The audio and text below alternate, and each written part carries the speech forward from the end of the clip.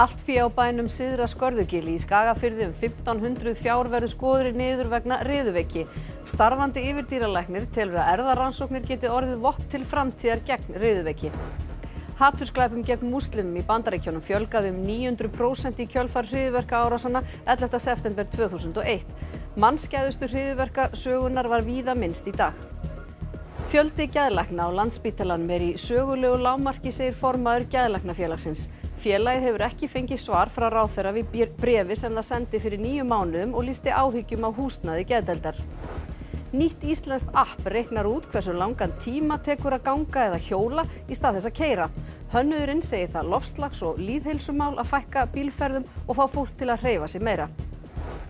Gos er hafið á nýju geldingadölum eftir nýju daga goslé.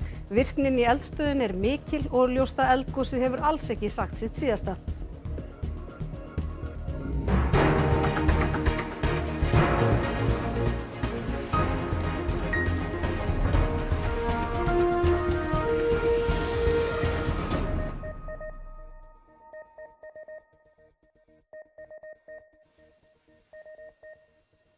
Gott kvöld.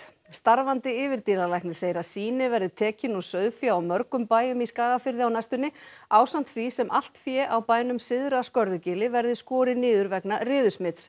Um 1500 fjár eru á bænum. Riða kom upp á nágrannabæ fyrir ári síðan og þá þurfti einni að skera niður fé vegna riðu á fimm bæjum handan hérasvatna.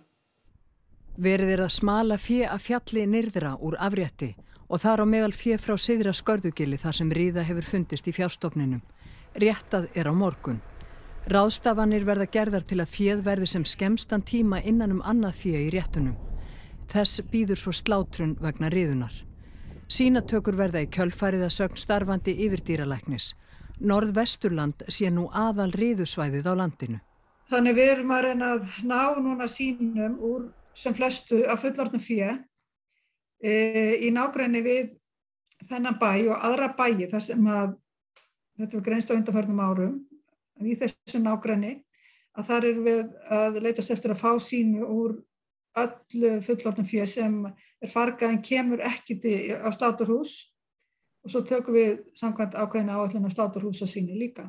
Sjálfsögð er þetta mikið reyðarslag fyrir hvert sem fyrir því verður og setur þetta úr skorðum líf fólks og tilveru á margan hátt. Við, við erum bara þarna með svæði þar sem blasir við að það er virt smit í gangi og það getur verið að það séu sem sagt á fleiri bæjum bara má segja frá þessu sama uppuruna og það er það sem við erum að reyna að komast fyrir. Riða er heila sjúkdómur sem leggst á fjö og barst upphaflega til landsins með ennskum hrúti sem fluttur var hingað frá Danmörku undir lok 19. aldar. Veikinn dreifðist um landi þegar farið var að nota hrútin til undaneldis. 20 árum eftir einhverjar mannskæðustu hryðverka árásir sögunar gætir áhrifa á afleiðinga þeirra enn víða um heim.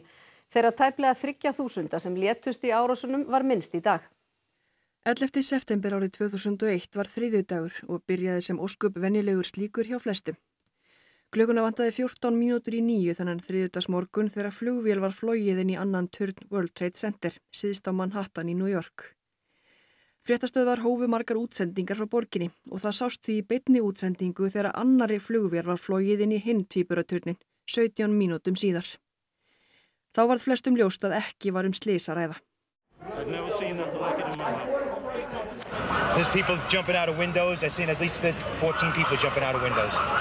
It's, it's, it's horrific. Klukkan 9.37 var þriðju farþegaflugvélinni stýrt á Pentagon, höfustöðvar bandaríska varnamálurraðanettisins og svo voru að berast fréttir af því að enn einn vélinn hefði hrapað í Pennsylvaníu, eh, einhver staðar eh, eh, nálagt einhverjum flugvilli þar.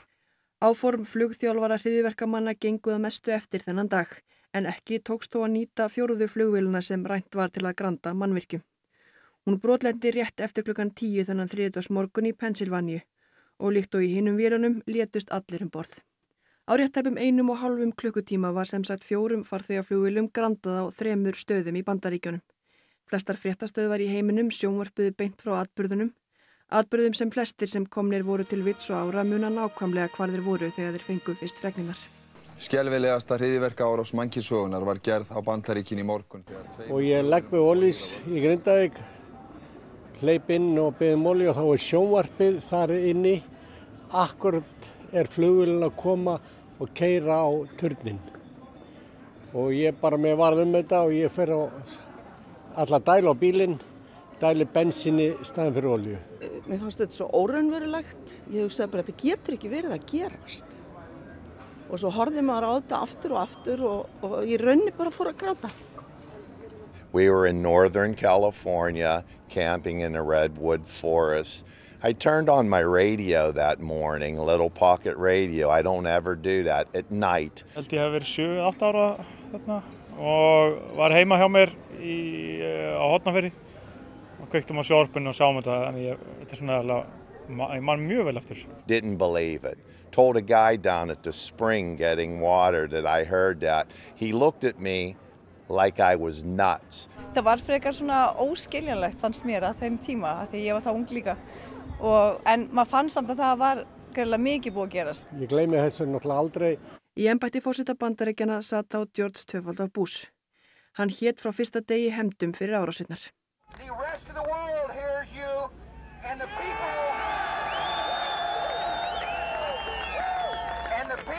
Knocked these buildings down will hear all of us soon.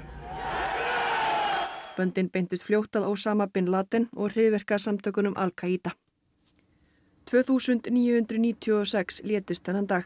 Fleiri en 400 þeirra voru lögreglu og slökkuleismenn á vettvangi við tvíburaturnana sem hrundu einum og tveimur klukkustundum eftir árásinnar.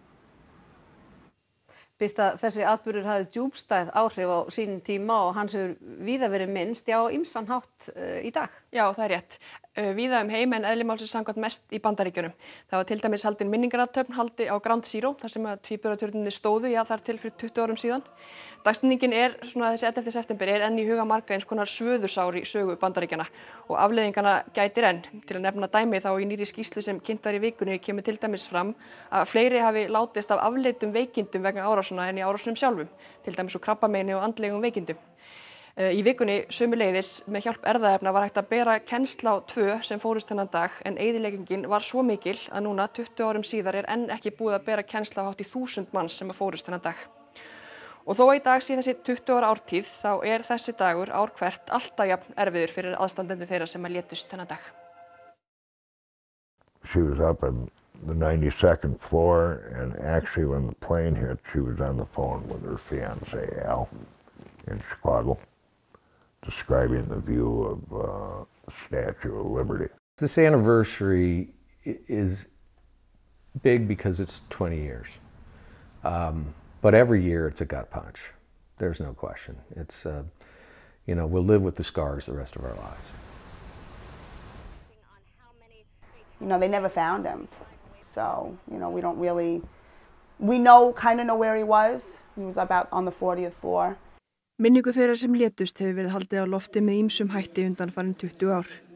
Fyrir en 22.000 gripir í eigu þeirra sem létust og þeirra sem lifðu af eru til að mynda uppistaðan í safni sem staðsett er þar sem tvíburaturðanir eitt sinn stóðu.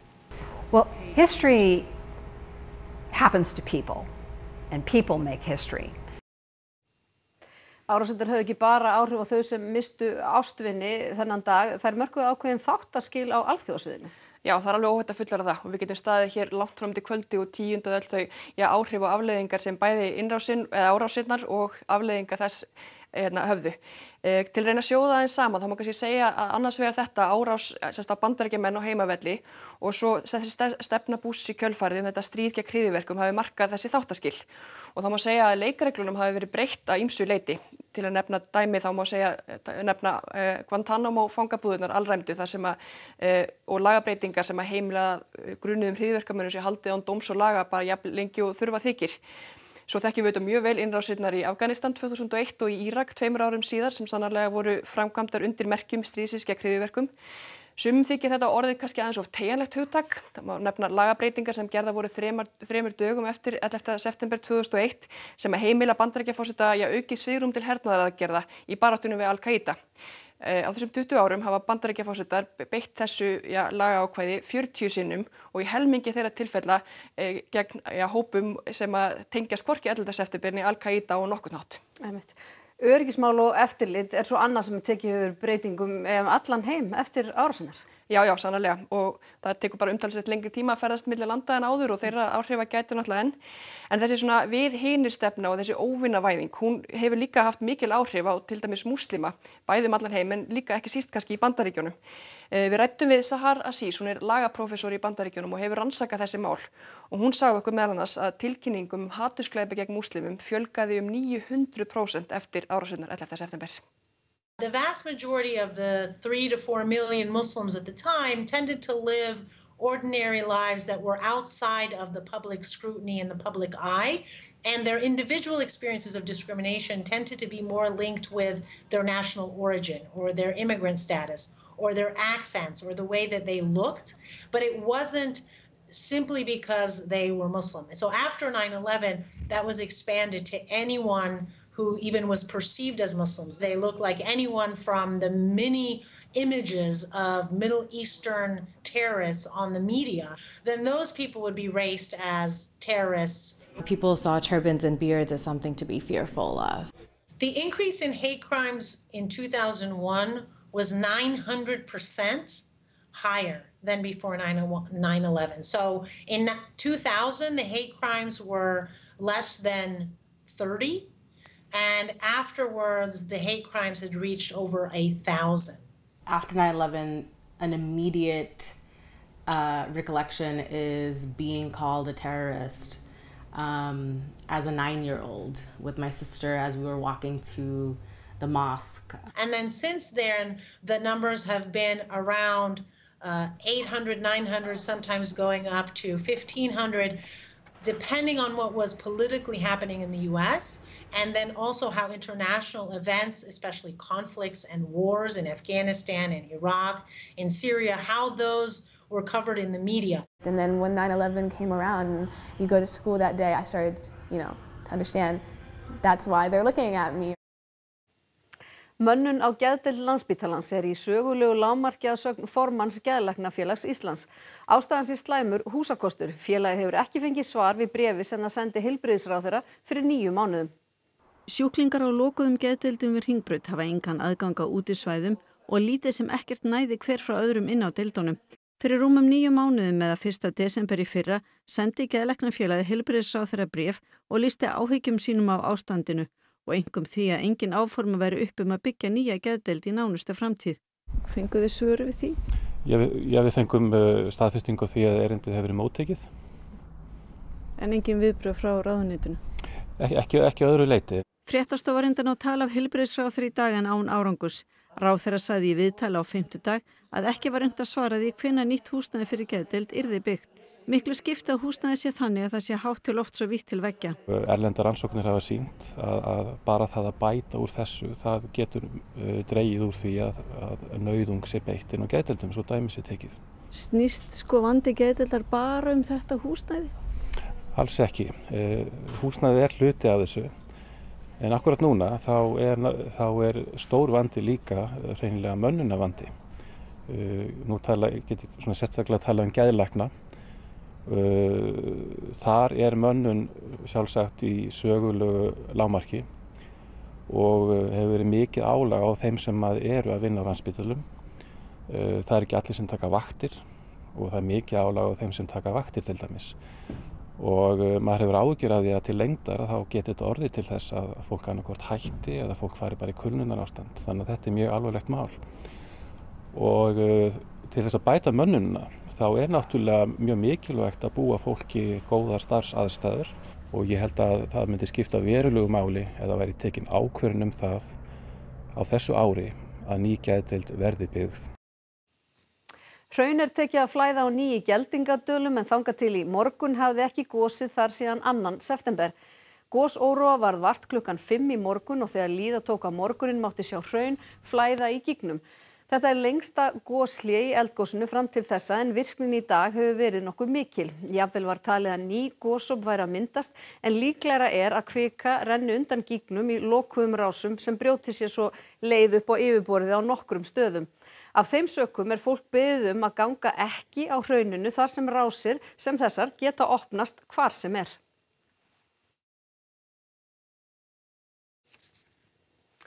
Jón Sigursson, fyrverandi ráðherra, seðlabankastjóri og formaður framsóknarflokksins er látin 75 ára að aldri. Jón greindist með langt gengi krabbaminni blöðruhálskirtli í áspyrjunni fyrra. Hann var fættur í Kollafyrði á Kjalanesi þann 23. ágúst 1946. Hann stundaði kennslustörf í mentaskólum og háskólum og var um tíma rektor samfunni háskólans á Bifröst. Jón var seðlabankastjóri frá 2003 til 2006 þegar hann tók við embætti innar og viðskiptar á þeirra í ríkistjórn Geirs H. Horde. Hann sat á ráþeirastóli til 2007 og var formaða framsóknarflokksins á sama tíma. Jón syndi ýmsum nefndarstörfum eftir það og hafði ráleikingar handa stjórnmálamönnum og samflokksmönnum. Það er, það er ekki takt að vera með neitt fals. Það er ekki takt að vera að benda á einhverja aðra. menn verður bara að taka til hjá sjálfum sér. Síðasta mynd kvikmyndaleikstjórans Árna Ólafs Áskeissonar sem lést fyrra árinu verður opnunamynd Icelandic Panorama á alþjóðlegu kvikmyndaháttíðinni RIF. Kvikmyndin Volka er fyrsta leikna íslenska myndin sem gefur nána insýn í pólst samfélag á Íslandi. Volka er íslensk-pólst samstagsverkefni. Kvikmyndin er á pólsku og eru flestir leikarar pólskir. Margir Íslendingar komað gerð myndarinnar. Tónlist, leikmynd og framleiðsla er í höndum Íslendinga. Film Produtska og Sagafilm framleiða myndina. Vestmanæjar eru aðal sögursviðið. Allar myndir Árna Óla verða síndar á háttíðinni, Brím, Blóðbönd og Lói þú flýgur aldrei einn auk volku. Okkur langaði sem sagt uh, til þess að heiðra minningu Árna Óla sem að ég myndi nú segja að sé einn fremsti, hafi verið einn fremsti íslenski kvikmyndagerðamæðurinn. RIF kvikmyndaháttíðin fer nú fram í átjánda sinn. Frá því háttíðin var fyrst haldin hafa 4800 myndir frá 40 löndum verið síndar á háttíðinni. Lögðir áhersla á framsækna kvikmyndagerð og unga kvikmyndagerðamenn. Um 20.000 gestir mætaði jafnaði á háttíðina árlega. Bílabíó, sundbíó og hellabíó verður á meðal viðburða þessu sinni.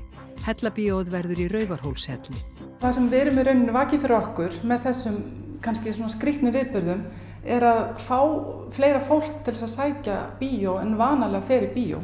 Þannig að við reynum að setja, þetta verður svona upplifun, þannig að við setjum kannski myndirnar í svona annan búning, þannig að þetta verði skemmtileg upplifun að sjá mynd og kannski upplifa eitthvað annað í leiðinni. Bíóbílinn mun einnig ferðast um landið og dagskrá verður fyrir leikskóla og grunnskólabörn tengd RIF kvikmyndaháttíðinni. Háttíðin verður frá 30. september til 10. oktober. Yfirkjörstjórn í Suðurkjördami hefur hafnað frambóði ábyrgrar framtíðar í kjördaminu þar sem skilirðu um fjölda meðmælenda var ekki uppfyllt en 31 meðmælenda vantaði upp á. Ábyrg framtíð hefur sólarhing til að kæra þessa niðurstöðu til landskjörstjórnar. Öll önnur frambóð voru samþygt þar með verða tíu listar í frambóði í öllum kjördamum að undanskildu Reykjavíkur kjördami norður þar sem frambóðin verða 11 en þar voru ekki gerðar aðtóðasemdir við frambóð ábyrgrar framtíðar. Ný tæknilaust ætti að verða til þess að fækka bílferðum og auka vægi göngu og hjólreiða. Einn á hönnuðum verkefnisins segir fólk oft vannmeta hversu langt það kemst án þess að nota engabílinn. Korter er hugarfóstur orkuseturs og vistorku. Það er tæknilaust sem snýst um að auka rýmiskreind landsmanna þannig að þeir sjáu að hægt sé að fullnæja flestum þörfum þeirra með stuttri göngu eða hjólaferð. Verkefnið þrýþætt, snjallfórit, vefsíða og sérprenta kort sem sínir hvert hægt er að komast á minna en stundarfjörðungi, gangandi eða hjólandi frá einstaklingsbundnum uppháspunkti. Sem mun vonandi verða til þess að fólk fækki aðeins bílakilometrum. Það taki meira af sinni sér, ferðum í gegnum hjólriðar eða gungu. Og þetta nafn kortir, hvað er það vísin í eitthvað? Þetta er svona leikur að þetta snýst, þetta er kortalaust og uh, við töldum sko kortir í tíma er eitthvað sem allir hugsi sér ráða við það tekur kortir er tíma að fara á bíl og, og þannig að það sem getur gert innan við kortiri að það ræður við.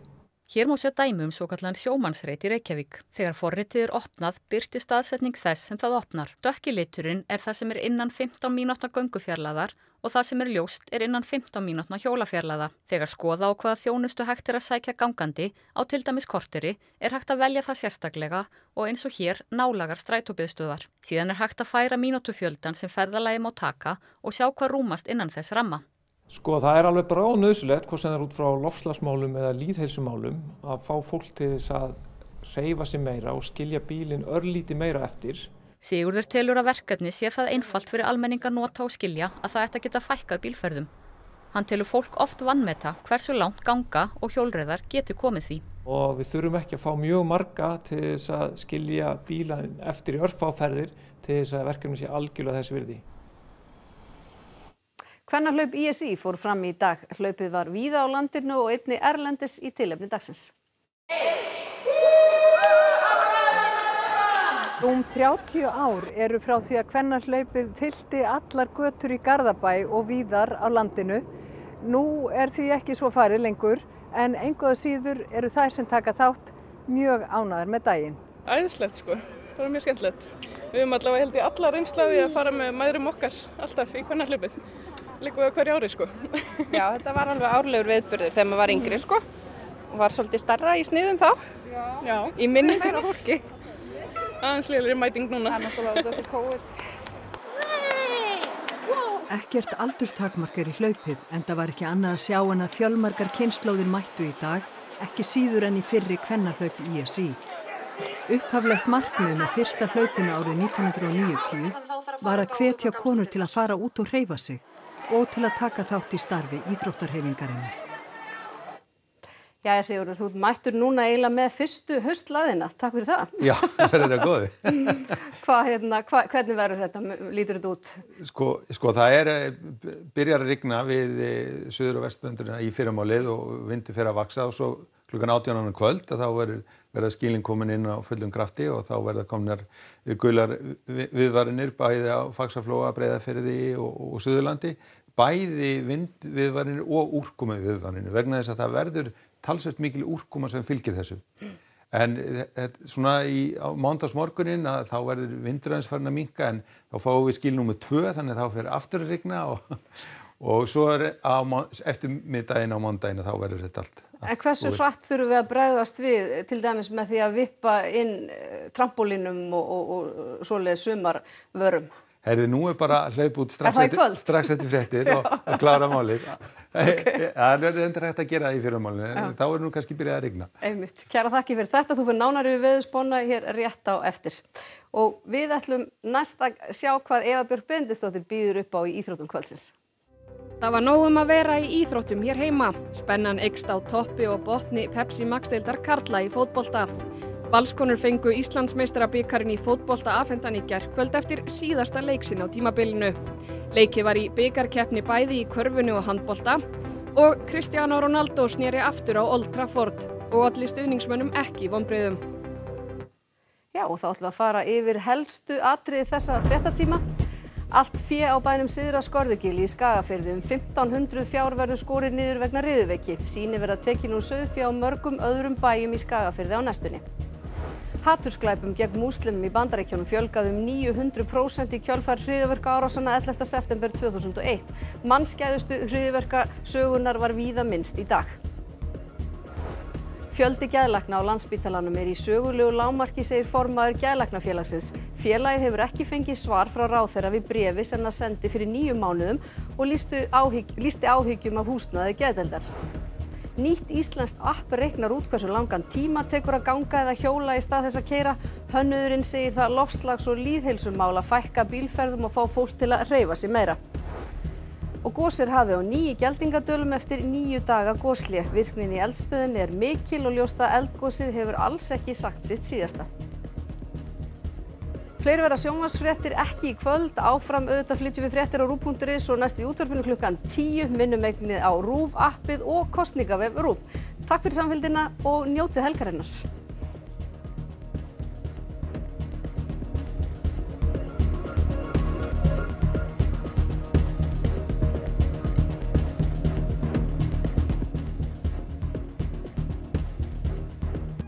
Á rúf í kvöld. Fjölskyldubíó. Hugo er ungur munaðalust drengur sem býr á lestarstöð í París á fjórða áratug síðustu aldar.